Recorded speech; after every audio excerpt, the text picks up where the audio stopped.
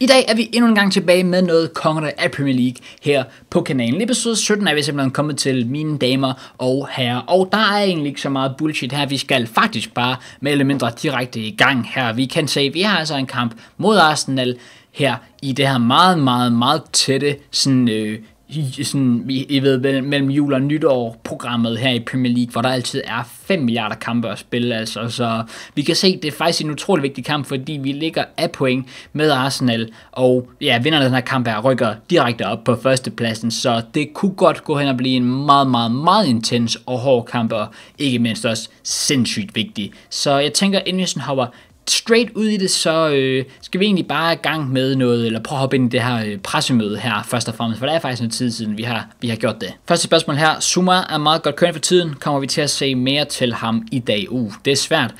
Øh, fordi spørgsmålet er, om det skal være Sumar eller AC, der kommer til at spille sammen med Rüdiger. Det tror jeg helt ærligt kommer an på basically bare, hvem der er, hvem der har mest energi.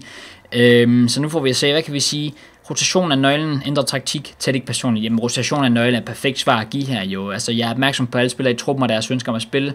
Schumann er til at gribe chancen, hvis han vil sætte sig på en plads i startopstillingen. Og ikke mindst også bare fordi, at igen, altså, ja, nu var det lidt anderledes svar, som vi alligevel gav i forhold til, hvad jeg selv tænkte på, men altså, det er vigtigt nu her at sørge for at rotere så meget rundt som overhovedet muligt, fordi det er et meget, meget tæt program. Næste spørgsmål her, der er dømt titanernes kamp, når I møder Arsenal. Hvem ligger øverst efter kampen? Uha, okay. Meget direkte, meget offensivt spørgsmål at stille. Vi vinder. Lad os hellere spille kampen først. Vi er bedre end modstandere. Wow. Okay, jeg vil sige, uh, lad, lad os hellere spille kampen først. Vi må se, hvordan kampen ender. Ja, det er sådan virkelig, virkelig typisk kedeligt managersvar, men der er ikke så meget andet at sige der. Altså, vi, vi må se, hvad der sker. uh, det sidste spørgsmål det er, hvordan har du forberedt dig på næste kamp mod ærkefinderne fra Arsenal? Jeg forbereder mig, vi ikke rigtig gør noget overhovedet. vi er klar. Det er bare endnu en kamp, vi er nødt til at præstere bedre. Det er bare endnu en kamp. Altså, vi går ind til den kamp med samme fokus som til enhver anden kamp. Om det er Arsenal, om det er Brighton, om det er West Ham, det er fuldstændig ligegyldigt alle kampe skal vi bare ind og vinde. Anyways, som I kan se, så har vi vores holdopstilling her, og det, det var lidt svært at vælge, som I, men som I kan se, så har vi faktisk næsten fuld energi på alle spillere, lige bortset fra faktisk Andreas Christensen, og så selvfølgelig også Kepa, men det gør ikke så meget. Holdopstillingen lyder altså således her. Kepa på kassen sammen med Trent, AC, Rüdiger og Tyson i forsvaret. Vi kører Kanté, Jorginho, Van Gengel på midtbanen. Der er Sancho på offensiv midten igen. Jeg ved godt, der er nogen, der har skrevet, om jeg kunne prøve at køre Sancho på angriber, så Havertz offensiv midt, fordi Sancho er lidt mere angriber-typen. Han er meget hurtig og så videre. Havertz er normalt også en offensiv midt jo. Grund til, at jeg kører det sådan her, det er, fordi jeg er meget større fan af Havertz afslutninger. Jeg synes, Sancho har meget svært at sparke den ind, men Havertz, han, han er faktisk rigtig god til at afslutte, øh, og det er, han, jeg tror også, at hans afslutningsstat faktisk er højere end Sanchos. Det ved jeg i hvert fald, den er normalt. Jeg ved ikke, om den stadig er det i den her karriere her, men det er derfor, jeg kan godt lide at køre med Havertz på toppen. Og så er der selvfølgelig Tammy Abraham ved siden af. Igen, der er mange spillere, der var meget trætte, blandt andet Kovacic, Batshuayi og så videre, bare for at nævne et par stykker. Øhm, og Sumar også var øh, fuldstændig færdig, så ja, det er derfor, at jeg er nødt til at tage den. Der var en Tomori, men ja, altså, jeg tænker, AC var ikke så træt, at jeg ville til at smide en Tomori ind imod Arsenal her i hvert fald. Så vi kan se opstillingen her, som sagt. Arsenal, meget svær modstander, specielt på legendarisk nu her. Igen, vi har sat den op på det, prøve at spille mod dem her. Det skal nok blive udfordrende, men forhåbentlig kan vi få alle tre point med hjem herfra. Uh, det er farligt det her. Stærkt AC i første omgang. Lidt heldigt, der kan sætte for den med igen her. Øsil. Øj, det er godt spillet. Det er godt spillet Arsenal. Det der for fanden da. Puha, ja, der kan man så se, hvordan det er at spille på legendarisk her. Øhm, første chance her, det er ellers indtil videre, at spille 17 minutter, det er faktisk også sådan, vi har, vi har, kørt, vi har kørt bolden godt rundt, men vi har ikke fået skabt noget. Og første chance, det er simpelthen så Arsenal, der, altså, what the hell, jeg kan slet ikke følge med der, det er som om, at AI fortsat kan heller ikke følge med. Øhm, ja, wow, udspillet.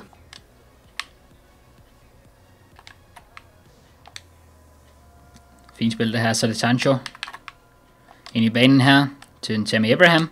Lægger ned til en Van Ginkel. Afslutning der, Van Ginkel. Hold da op et spark, han kom af med der. Skal jeg næsten lige se igen den der. Den, ah, den hopper lige ind. Det er lidt ærgerligt. Mm, det ved jeg, jeg ved ikke, om det er ærgerligt faktisk, men ja, okay, den går faktisk, går faktisk bare langt over. Det så mere, det så mere tæt på ud, end, end det så gjorde i langsom gengivelse i hvert fald. Og med det så bliver det så fløjtet af til halvleg lige bagefter her. Okay, så igen, ja, der har været to chancer i kampen, det der, vi har set. Den ene, det er Arsenal, der så spiller sig utrolig godt igennem. Det må man selvfølgelig give dem, men udover det, pff, ja, som det var ligesom i sidste episode, hvor vi også spillede sidste kamp på, Vand, på legendarisk. Det faktisk røvkedeligt, men øh, det er der ikke så meget at gøre ved. Det skal jo være udfordrende, desværre. Det er så ærgerligt, at, at hvis jeg spiller på verdensklasse, så er det alt for nemt, og hvis jeg spiller på legendarisk, så er det bare kedeligt. Det er sådan, der, der skulle være, ja, det ved jeg sgu ikke, jeg ved ikke rigtig, hvad, hvad fikset skulle være. Anyways, øh, det er svært at kigge på min bænk, og, og sådan, altså, jeg kigger på min bænk og tænker, er der nogen sådan åbenlys udskiftning at lave? Og det ved jeg sgu ikke engang rigtigt, om der er. Måske ville en Batshuayi være meget smart, fordi Tim Abraham, han er igen, han er bare ikke, han er, han er ikke god nok, han er ikke god nok, det, det, det piner mig at sige det, men, men han er bare ikke god nok. Øhm, og måske, jeg ved ikke, om vi skulle prøve at blive rundt på de her to, eller om vi skulle fortsætte sådan her. Jeg tror, at vi fortsætter sådan her indtil videre, og så med Batshuayi på toppen, i stedet for Tim Abraham. Godt spillet det her. Kai Havertz her. Over til venstre skøjten. Kai Havertz med sparket der, og Leno med en klasseredning der. Prøver sparket efterfølgende, ligger den bare kort til Sancho, som altid selvfølgelig. Ind til AC her. Van Ginkel kan godt sparke ud fra igen. Uh, okay, okay, vi ligger lidt pres på nu. Lige godt over en teamspillet her. Vi skal vel, vi er vel nødt til at bare prøve et eller andet her, selvom det er lidt svært at se, hvad det skulle være. Øhm, igen, altså fordi, det, ja, det er nok det bedste hold, vi stiller med. Så hvad, sådan, jeg skal være helt ærlig, jeg, jeg tror ikke engang, jeg tror ikke engang, jeg har lyst til at lave nogle ændringer. Jeg kan, jeg kan ikke se, hvad der skulle ændre det her, øh, af det vi har på bænken. Så jeg tror sgu egentlig bare, at vi kører videre. Uh, det er godt spillet det her. Batshuayi kommer igennem her. Skyder til den der Batshuayi, og han bliver taklet i sidste øjeblik. Det er bare løgn. Det var chancen. Åh, oh, jeg kom til at skifte til Keba. Åh, vi, vi taber simpelthen kampen til Arsenal her, og det værste hele er, vi spillede fucking godt hele vejen igennem i forhold til det på legendarisk sværeste kamp, vi nok har spillet indtil videre i serien, fordi alle andre gange har vi bare spillet verdensklasse. Og vi, vi sidder så hårdt på kampen. Altså Arsenal scorer, ja, Arsenal scorer efter 17 minutters spilletid, og så har de literally ikke en chance med i kampen. Sådan, okay, der står godt nok, ja, ja, der står selvfølgelig, at Michel Özil havde en afbrænder der, men den har jeg ikke engang taget med, fordi det var lidt bare et lorteskud udefra. Helt ærligt, det her det er faktisk et virkelig frustrerende nederlag at tage, fordi hold kæft, vi spiller egentlig godt. Og det er jeg sgu egentlig skidestolt over, så det er faktisk, jeg vil, jeg vil sige, at det er, det er rimelig stort fremskridt.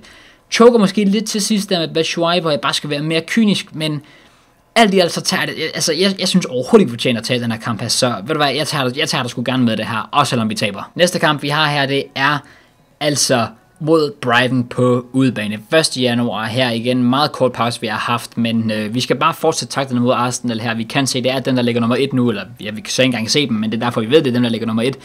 Øh, og øh, det er så pisse godt der hele tiden. Så har vi altså også her igen, vi er stadigvæk godt med. Altså Arsenal ligger på 46 point.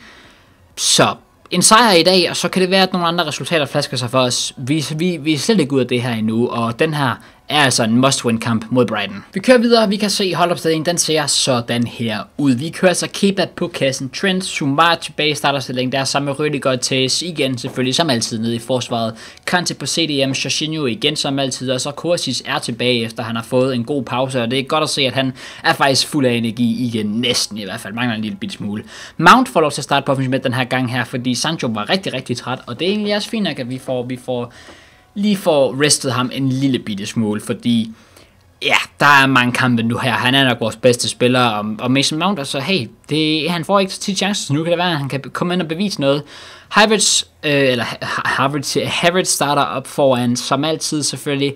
Øhm, Batshuayi var desværre igen rimelig træt, fordi ja, han fik jo ikke rigtigt, han, fik, altså, han var jo basically træt før, og han fik ikke, han fik ikke øh, altså restet heller mod kamp, eller kampen mod Arsenal, fordi der kommer han også bare ind til sidst, så øh, derfor er det simpelthen Pulisic report den her gang her. Tam Abraham havde ellers fuld energi, men nej, det fungerer ikke. Det fungerer ikke, også selvom jeg vil ønske, det gjorde. Pulisic får lov til at starte foran den her kamp her. Lad os se, hvordan det kommer til at ende. Så skal den selvfølgelig også lige stå på, på legendarisk, sorry. Ja, jeg har sat den på verdensklasse normalt, det er derfor, der stod verdensklasse deroppe før. Den er sat på legendarisk, og nu kan I se, at jeg går ind i kampen, mens den er sat på legendarisk, så I tror, jeg snyder.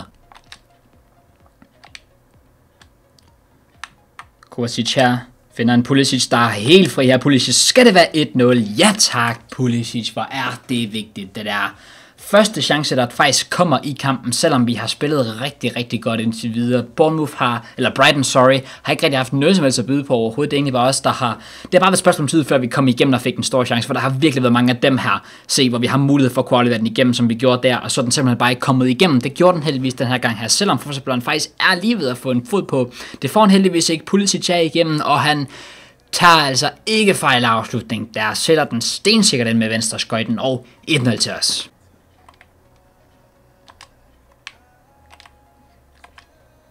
Godt spil det her, Havertz. Uh, det er lige ved, at vi får den til Pulisic igen. Frispark her, ja tak, okay. Uh, det er Trent faktisk, han kan jo godt sparke den, han kan ikke det? Han har 80 i frispark, det har TS også. Og der er ikke rigtig nogen, der er bedre faktisk på holdet overhovedet. Faktisk slet ikke. Så jeg tror, det er Trent, vi kører med her. Lad os se, om vi kan få den placeret helt op i krogen der. Det kan vi faktisk godt. Kort til den her. Trent sparker til den. Og den... Øj, det er simpelthen... Wow, det var lige, vi scorede faktisk. Brians målmand der, jeg ved ikke om det er Ryan, der står for dem, plejer det i hvert fald at være i virkeligheden. Vi kan lige se, at vi har en chance her måske. Kan vi lige komme på 2-0 inden halvlejen her? Det kan vi, mine damer og herrer. Kai Havertz med målet. Let's fucking go. Hvor er det godt sparket ind. Hvor er det klasse sparket ind af den gode gamle Kai Havertz der. Den skal vi altså lige have igen. Jeg er ikke engang kommentere færdig på frisparket overhovedet. Så er det også lige ligegyldigt. Prøv lige at overveje en header af Taze, der vinder den, får faktisk assistet der, Kai Havertz. Altså, den, han, altså, den sidder jo bare lige, hvor den skal sidde. Den, hvor der er helt oppe i krogen. Ingen chance for Ryan overhovedet. Og 250 som sagt en her. Og det frispark der var altså også tæt på Trent, der sparker til den, og Ryan, der lige får den skubbet op på overlæggeren. Heldigvis får vi samlet returbolden op Igen klasse hovedstød af Tays, der vinder bolden igen, og Havertz, der bare køler den op i krogen. Smukt, smukt mål og smukt resultat indtil videre. Smuk præstation ikke mindst. 2 til os som sagt på, ja, vi har vel haft tre chancer, det er de tre chancer, I har set, men øh, det, det, det, det spiller, og det er godt at se. Og jeg ved ikke engang, om, det er, om vi overhovedet behøver at lave nogle ændringer faktisk. Så jeg tror sgu egentlig bare, at vi fortsætter.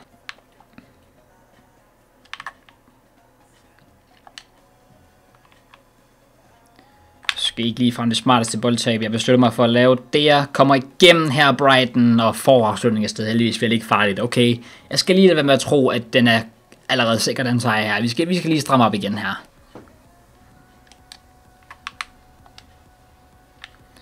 Ja, det går spillet det her faktisk. Havertz her. Ligger den af igen til Mason Mount. Så skal det være 3-0 Mason Mount på legendarisk mine bare her. Hvad sker der lige her, mand? Det skal, okay, det er måske så også bare lidt et kollaps af Brighton. Og plus at Brighton ikke er noget særligt godt hold.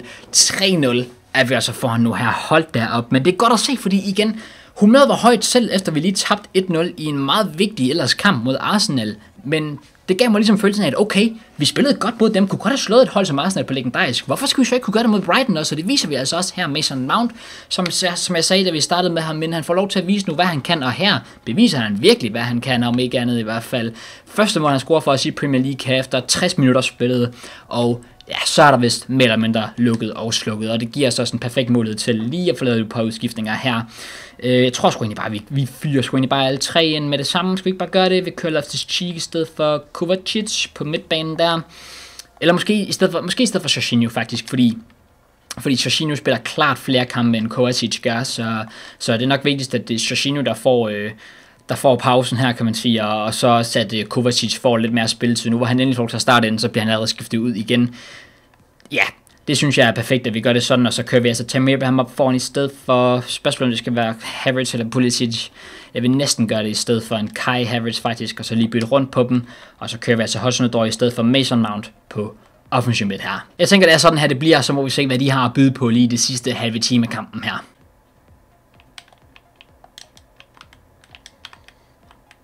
Det er godt spillet det der, det er godt spillet af Brighton for fanden. Okay, der røg koncentrationsniveauet skulle lige en lille en lille bitte smule. Desværre kommer igennem der, score til 3. Okay, vi skal lige igen... Ja, nu ved jeg godt, kampen er selvfølgelig afgjort, der kommer ikke til at ske mere, men... Øh, ja, skal lige... Øh, lad, lad os med at lukke de... Sorry, jeg kan finde at snakke. Lad os lade med at lukke de der dumme mål ind.